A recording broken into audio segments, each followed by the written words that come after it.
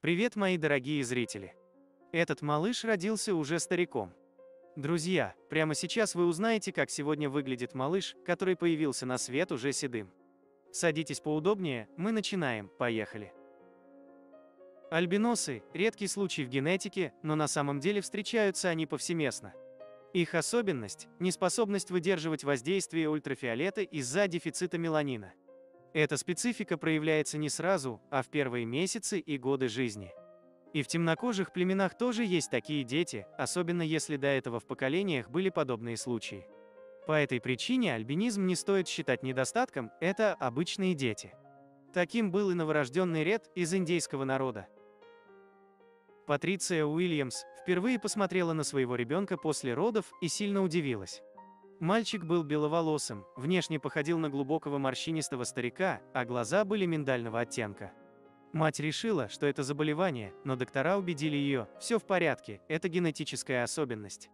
Малыш рос и развивался, как все обычные дети, заводил друзей, учился и играл. Почему в индейском роду родился альбинос? Стали искать исторические факты и узнали, бабушка Редда была блондинкой, хотя отрицала свою принадлежность к альбиносам. Она верила, что виной ее необычного вида был сбой в здоровье, когда ее мама носила плод. Семья ее поддерживала и защищала, чтобы женщина не расстраивалась из-за внешности. И уже никто бы не задумался бы об этом, но вот на свет появился внук с еще более сильно выраженным альбинизмом. Ред подрос, ему 9 лет, он очень востребован в качестве фотомодели. И ему нравится сниматься для разных брендов. Он выглядит очень стильно, планирует в будущем строить карьеру манекенщика и фотографа. У него есть брат Рокуэлл, тоже альбинос.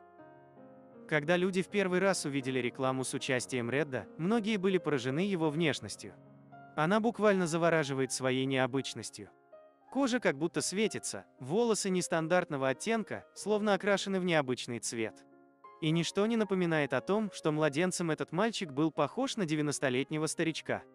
Теперь как будто процесс старения пошел вспять, с каждым годом он превращается в очаровательного юного паренька. Люди часто обращают внимание на братьев и проявляют любопытство, внимание им всегда обеспечено. Действительно, таких детей-индейцев встретишь нечасто. И дети не против такого внимания, они любят быть в центре событий. А что вы думаете по этому поводу? Обязательно поделитесь своим мнением в комментариях под этим видео. Друзья, поддержите канал лайком и подпиской.